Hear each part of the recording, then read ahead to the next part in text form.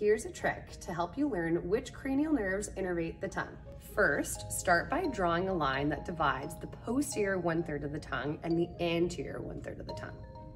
Next, draw a line directly down the middle of the tongue. And this is gonna help us divide the sensory, special sensory, which is taste, and then our motor aspects of the tongue.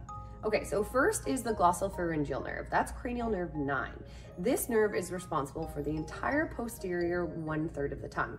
So it does both sensation as well as special sensory of taste on that posterior aspect of the tongue. Next is the trigeminal nerve, cranial nerve five, and that's gonna do the anterior two thirds of the tongue, just sensory. Next is the facial nerve, cranial nerve seven, and it's responsible for taste on the anterior two thirds of the tongue. And last is the hypoglossal nerve, cranial nerve 12, and it's responsible for all the motor of the tongue. Now see if you can take this and draw it out yourself. Try it a few times and you will know all the cranial nerve innervations of the tongue.